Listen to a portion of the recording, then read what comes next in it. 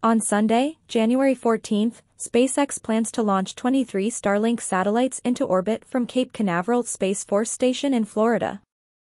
Originally scheduled for Saturday, January 13, the launch was postponed by a day, likely due to adverse weather.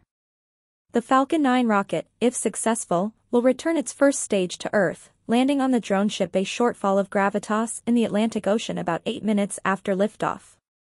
This marks the 12th deployment and landing for the booster, and the 23 Starlink satellites will join SpaceX's expanding mega constellation, currently consisting of over 5,250 operational spacecraft.